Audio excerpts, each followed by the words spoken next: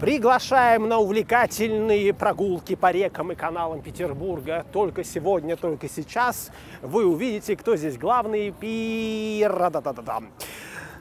Хотелось бы вот вам о чем сказать э, в этом своем блоге, который я немножко подзабросил, но вот э, к нему... Да ладно, я уж спрыгну, пусть, пусть стоят туристы, все для туристов, наслаждайтесь, молодой человек, этими прекрасными видами. Ну, я к тому, что, во-первых, я же не всегда хожу с, э, со страусиными перьями в заднице, да, иногда бываю и прилично одетый молодой человек, или не молодой человек, точнее, уже абсолютно и бесповоротно. Вот буквально только что мы проходили здесь, и а, мой коллега вещал эту байку про Петра Телушкина, вот про это все, как он залез на шпиль, починил, и ему, соответственно, потом выжгли клеймо. А, а вот проект, который мы а, здесь снимаем, будет подкаст, в котором я говорю, что это одна из вещей, э, запрещенных произношению на этой территории, потому что научных сотрудников от нее просто выколбашивает, выбешивает. Так вот, э, буквально, ну, такие немножко сумбурные, но, тем не менее, мысли о том, э, с чем вы сталкиваетесь, когда работаете гидом. Ну, во-первых, надо сказать, что иsto- изначально исторически почему-то так получилось, что гид и экскурсовод – это разные понятия. Экскурсовод – это человек, который водит экскурсии для русскоязычной публики. А гид это типа такой сопровождающий при иностранцах. Я это выяснил с удивлением не так давно. Я себя всегда называл гидом, потому что по мне, так сказать, что то, что второе, здесь, никакой разницы не, не, не имеет. И сейчас, насколько я понимаю, законодательно это дело приравняли. Я раньше иногда даже завидовал своим коллегам, которые, ну, в бытность э, Э, когда это было позволительно, водили иностранных туристов, в частности американцев. То есть ты выучиваешь, не знаю, там 15-20 каких-то там маршрутов, и все. И как бы ты их годами вот гоняешь у себя в башке. То есть, в принципе, им можно вот э, на глаза нацепить повязку, и она, они зайдут в большой дворец в Петергофе и проведут вас там спокойно вслепую, потому что они там уже просто вот каждый сантиметрик выучили. И им не надо думать э, больше ни о чем, кроме как вот чтобы там не растерять своих туристов, чтобы это там бабка, которая на ладан дышит, чтобы она коньки тут не бросила, и, и чтобы на вопрос «Where is the toilet?» э, ты понимал, что сейчас они пойдут в the toilet, и будешь там стоять, там, дай бог, минут 15 минимум.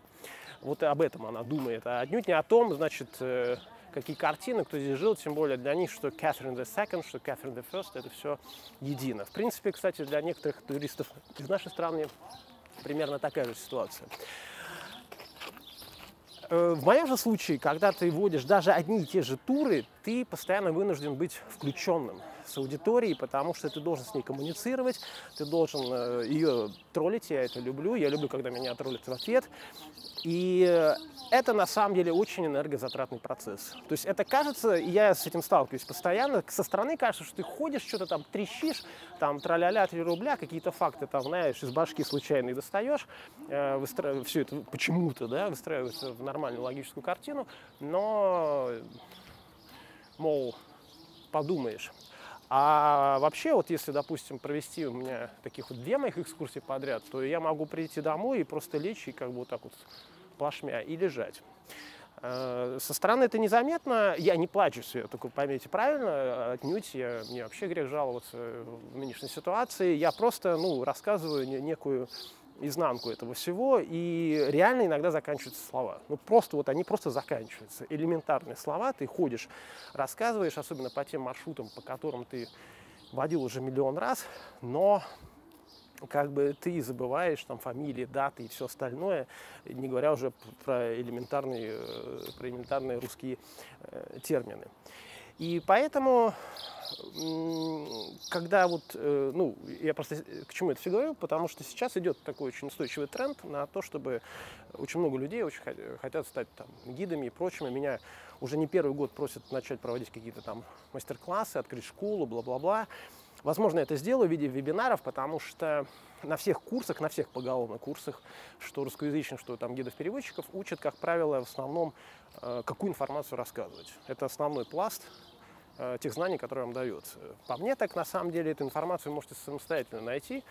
Э, а вопрос в том, как искать информацию, какая она должна быть вообще, ну, то есть воспитывать в себе чувство информации. Я это чувство информации приобрел исключительно работая э, в журналистике, главным редактором, а потом, соответственно, в интернет-рекламе. То есть я как бы вот это в себе сформировал, и, наверное, именно поэтому все, все, что я рассказываю, там большинство людей, которые ко мне ходят, их это не только устраивает, им это нравится. Э, а вот это почему-то никто не дает. Никто не рассказывает про работу с негативом, про личный брендинг, про то, как тебе поступать, если тебе нужно подготовить новый маршрут, а у тебя там в запасе два дня, а тебе надо прочитать там пять книг, посмотреть три документальных фильма, еще что-нибудь, что-нибудь, ты что, что, что в этом случае делать? На самом деле есть методика, и вполне возможно, что я когда-нибудь об этом э, и, и э, расскажу. Вот. Но э, нет как бы таких, знаете, методичек типа экскурсии по проходным дворам. Более того, я вам хочу сказать, что если бы, ну, вот я там сейчас пришел там на лицензирование, опять же, сюда же, да, куда я когда-то ходил, или там получать общегородскую аккредитацию, то, конечно же, мне бы там задавали какие-то там вот вопросы из серии там когда, кто и так далее, и так далее. А если бы я задал вопрос, а как вот провести людей по местам Достоевского, именно до местам Достоевского, да, с, вот, по этим э, дворам закоулкам. Боюсь, что даже самые маститые профессионалы, при всем моем респекте к ним и уважении, с этим не справились бы, и это для меня большая проблема, потому что меня очень часто спрашивают, э, ну, когда я занят или когда я не хочу, я очень редко вожу индивидуальные туры, значит, э, можете вы кого-то посоветовать, а мне некого советовать. Ну, просто тупо некого. Вот единственное, там, сейчас кто на подхвате, это неизвестного Марина Гершляпе, просто потому что она мне помогает и по моим маршрутам ходит. Не, пойдем дальше, потому что там мы там будет шумно. На самом деле. Вот, кстати, хочу сказать, сегодня буквально заметили, оказывается, вы прикиньте, я этого не знал раньше. Это заяц-копилка. То есть вот тут вот есть такая прорезь, туда можно соточку закинуть. Вот. И э, чтобы э, вас немножечко развлечь и все такое прочее, хочу рассказать несколько историй, которые вот э, были в моей жизни, ну, такие вот э, байки, не байки, все такое прочее. Э, значит, э, история первая вот к вопросу о том, кого позвать.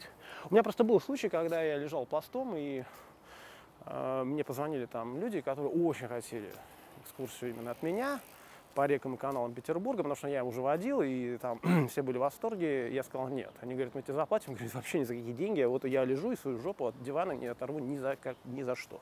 Но я дал им свою знакомую, там, ну, коллегу. Я не видел ее в деле, но я, так сказать, был в курсе, что она вроде окей.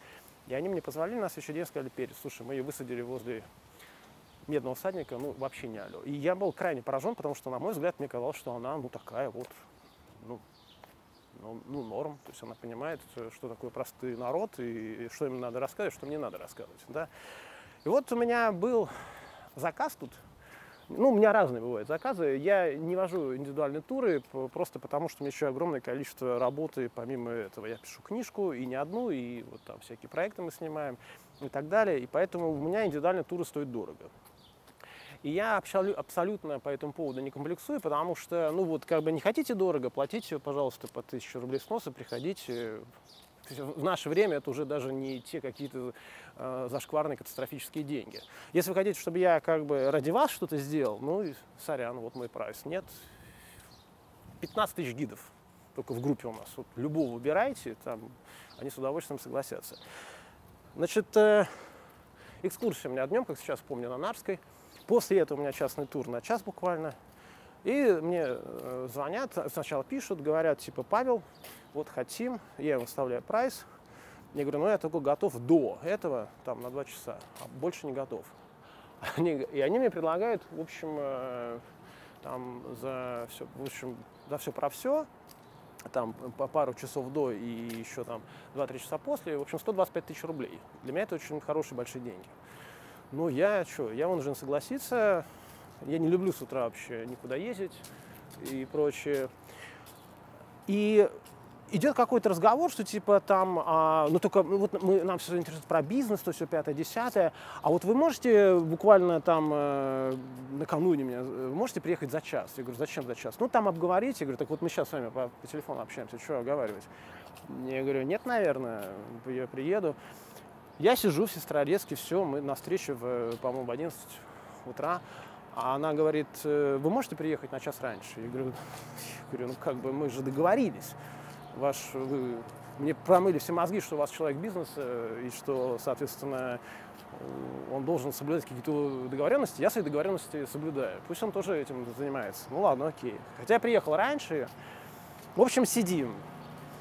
Три охранника. Выходит его, значит, э, личная ассистентка, очень красивая девушка, очень адекватная, милая, с которой мы общаюсь. Мы с ней поговорили, она мне все рассказала. Я уже, я, я понимаю уже, что за чел, потому что я этих людей знал и по журналистике, и по своим экскурсионным делам и так далее. В общем, выходит этот хрен с двумя какими-то барышнями. Как выяснилось, одна из них, я ему уже до этого водил частную экскурсию, и вот он такой, понимаете, ну вот, ну я не знаю, ну как бы не хочу ни, э, никакое суждение выносить, ну вот такой утырок, понимаете. И он э, сразу мне что-то про Украину какие-то вопросы начал задавать. Я вообще я не понимаю, к чему это, зачем это и, и, и, и, и куда. Вот. И мы выходим и, с этими тремя охранниками. И я вдруг осознаю, что все, что я ему говорю, ему абсолютно неинтересно. То есть он мне говорит, ну а где лучший ресторан в городе? Я говорю, ну в смысле лучший ресторан? Лучший ресторан это понятие растяжимое, что самый вкусный, самый дорогой, то есть что, как, почему.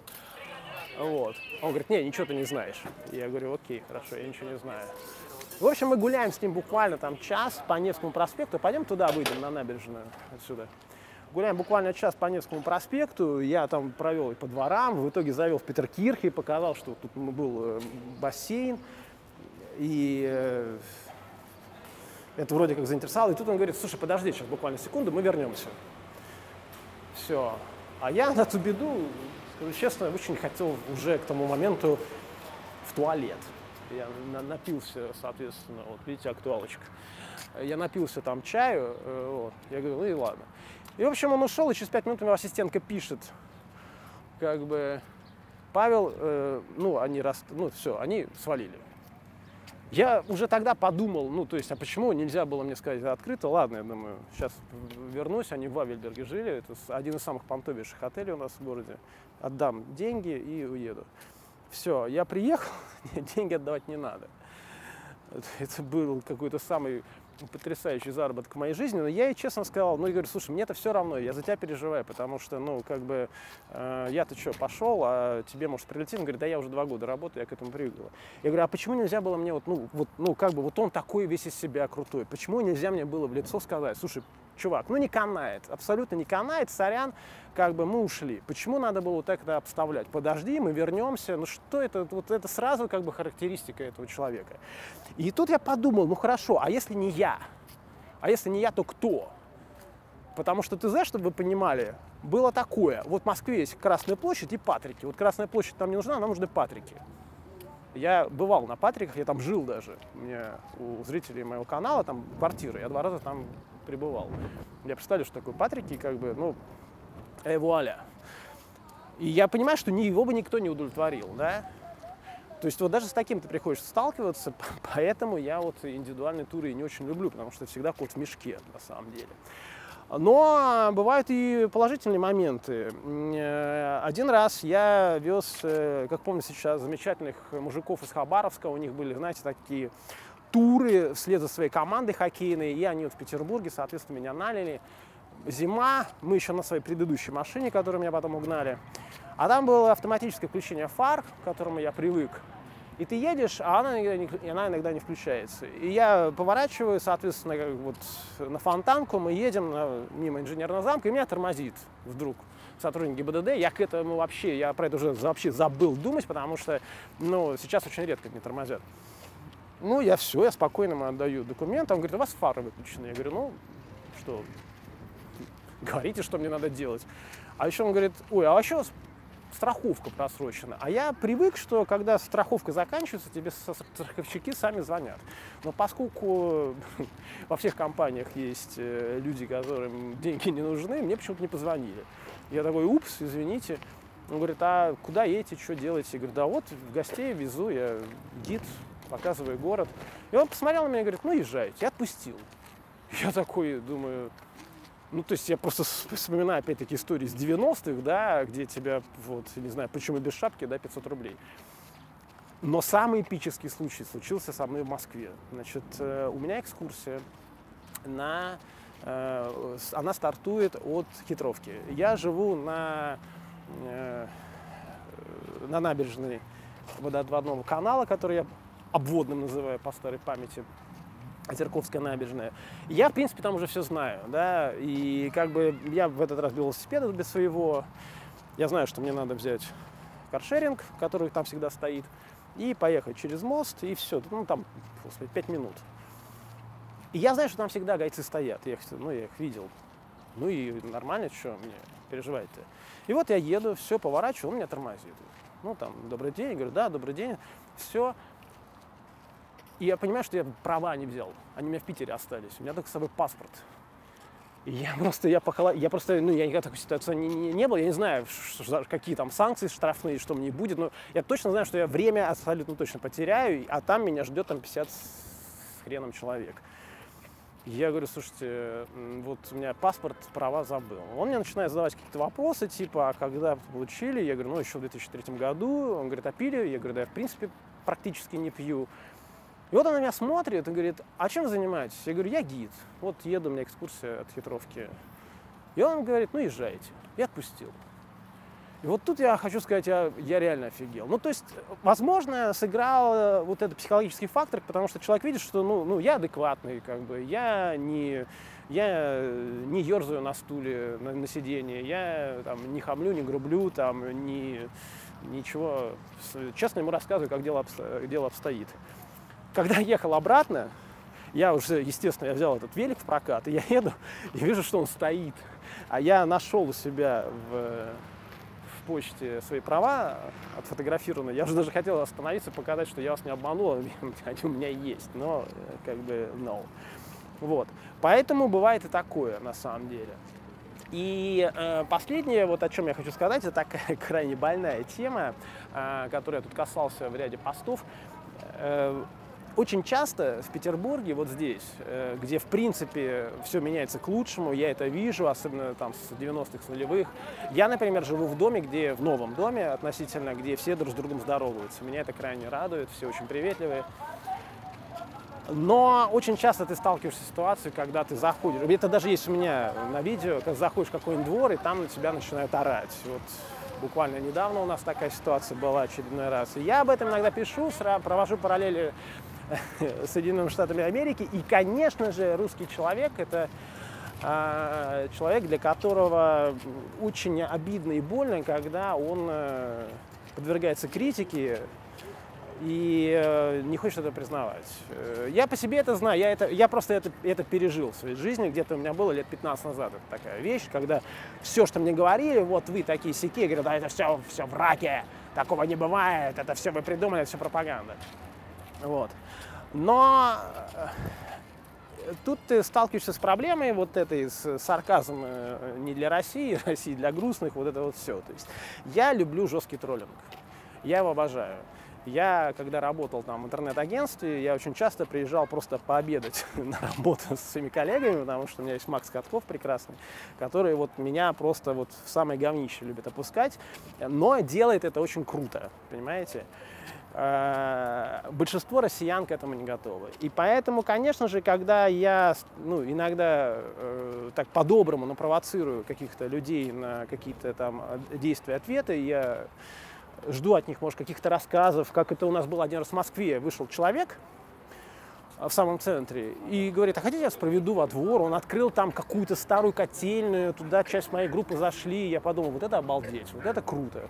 Ну, то есть вот, вот такого ты ждешь. Но такого ты встречаешь на самом деле крайне редко. В основном это типа, что пришли, значит, что вам тут надо и так далее. В основном это такие, знаете, тетеньки, употребляющие слово сейчас милицию вызову. А, и Конечно, тебе не очень приятно в этих случаях становится перед своими экскурсантами, потому что очень много приезжих, они приехали в культурную столицу. Не нужно думать то, что я показываю, если вдруг какие-то ссаные углы, а, то я пытаюсь представить свой город в негативном ключе. Нет, во-первых, я показываю не только ссаные углы, у меня даже здесь есть а, экскурсии, которые начинаются там, заканчиваются в проходных дворах. Но, тем не менее, Петропавловскую крепость мы проходим. Это, кстати, идеально проводить вечером, потому что здесь более разряженная атмосфера. Вот. И что меня просто поражает, то что народ, он это воспринимает как будто желание очернить мою собственную страну. Я, у меня нет ни малейшего желания этого сделать. Я свою страну знаю, ну, если не все, то много. Я знаю ее хорошие черты, я знаю ее плохие черты, я знаю, какие хорошие черты есть у русского и народа, или у россиянина, да, и какие у нее есть отрицательные черты. Но мне кажется, что пока мы не станем вот э, добрее, милосерднее к друг другу и особенно к гостям города, мало что поменяется у нас здесь в башке. Ибо я сам нахожусь в такой же ситуации. У меня одна из моих жилплощадей находится в доме старых процентщицы. Это один из самых туристически посещаемых объектов. И там долгое время был открыт один подъезд, мой подъезд. И, соответственно, ну, меня попросили как бы в семье, чтобы я повесил туда кодовый замок, потому что на самом последнем этаже квартира и там бомжи, алкаши и все такое прочее. Я не хотел этого делать, потому что мне, я пару раз людей заводил в квартиру. Вот они приходят с такими горячими глазами, а, Достоевский, Алена Ивановна, тролля. Я говорю, хотите квартиру посмотреть? Конечно, конечно, мне не жалко. Но я знаю, что на втором этаже там сидит такая барышня, которая на всех орет. Вот. И э, все, я поставил кодовый замок. Ну и сказал коллегам, что если надо, в одном из видео, вы мне, пожалуйста, там, пишите, звоните, если буду дома, я вам открою. И вот мне звонит, пишет один из коллег, говорит, Павел, а вы там? Я говорю, нет, но вам откроют. Все, открывает. И он мне потом пишет, ну все было нормально, единственное, нас наорали.